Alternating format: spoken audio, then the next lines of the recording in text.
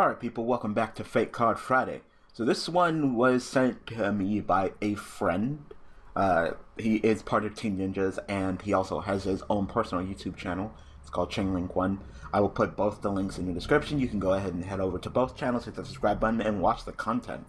So anyway, uh, he is a big fan of mine, and he's also my friend. He was like, "Oh yeah, you do fake cards? Well, you know, I make fake cards. So can you go ahead and review my card for me?" I'm just like, "Yeah, sure. Go ahead and send it to me." So he did. So uh, this episode of Fake Card Friday, I'll be looking at his card. So as you can clearly see, he made a uh, Flame Swordsman card, you know, and you know, there's a ton of Joey love right now. Like Joey's getting all of his uh, his uh, dragon cards made, the fusion with uh, I forgot what card is his.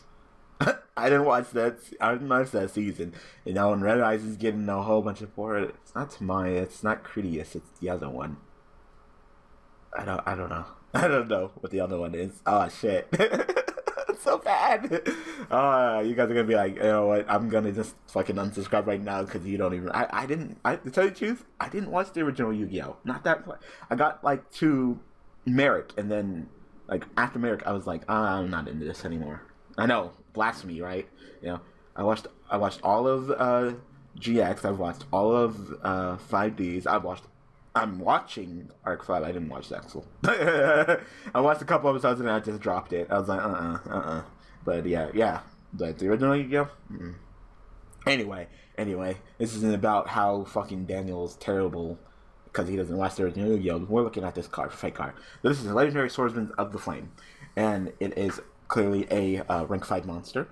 It has uh, 1800 attack, 600 defense. It is a Fire Warrior Exceed effect monster.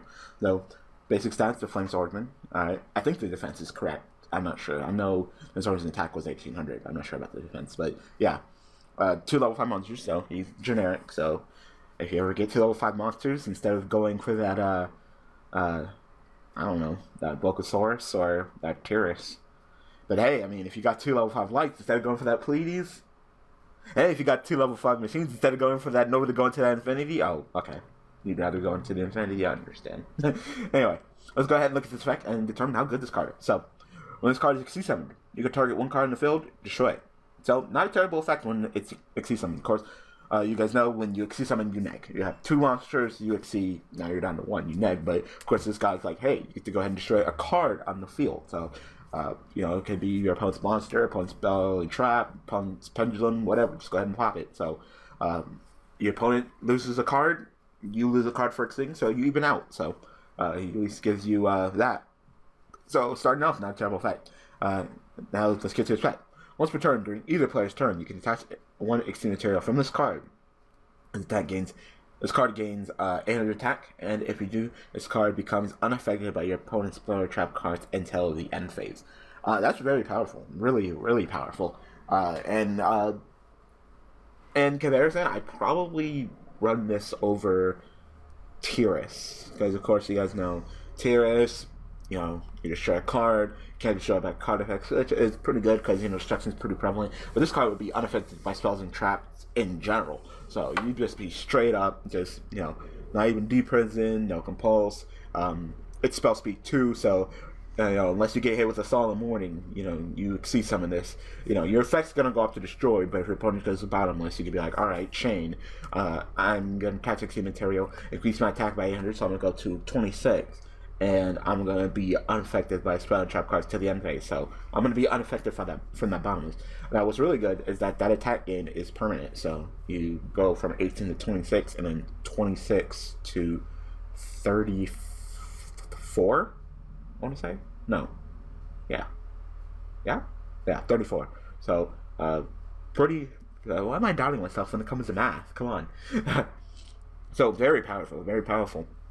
Uh, yeah, definitely. I definitely play him over Tiras. He he'd probably be um, a non-situational, really good uh, rank five. You know, Volcasaurus is kind of situational, depending on what you pop. You know, Tiras is you know mostly the, the generic go-to uh, rank five. But you know, if this card existed, I'd probably go to him more often. You know, just being able to go ahead have use the effect during either player's turn. So if your opponent goes ahead and tries to Raigeki you, no, I'm unaffected. Um, its effect is also activated during the damage uh, damage step because you know it affects his attack. So you can go like attack, uh, you know, And then you be like response, and your opponent's like, no, you know, I don't feel like playing my Mirror Force or anything along those lines, because yeah. then you're like, all right, during damage tap catch, I'm gonna go up to 26, and then bam. So uh, uh, it's a pretty good card. It's a pretty good card. And then you're at 26. You know, you're over the attack barrier with just one detach of Exceed material. That's very powerful. Uh, overall, I'd say this card's really, really, really good. And if Konami ever made a rank 5 like this, it would definitely be uh, a rank 5 staple, in my opinion. Definitely. I mean, it's kind of hard to say because generally decks don't go into rank 5s, which makes it, you know, generally when we talk about toolbox, we talk about rank 4s because, you know, 4 is the most popular level of monster in all of Yu Gi Oh! But, uh, you know, if you have like some kind of rank 5 deck, or, you know, you can go into rank 5s, you know, instead of, you know, and you can't go into Pleiades and you can't go into uh, Nova to go into Infinity, I would definitely go around this guy.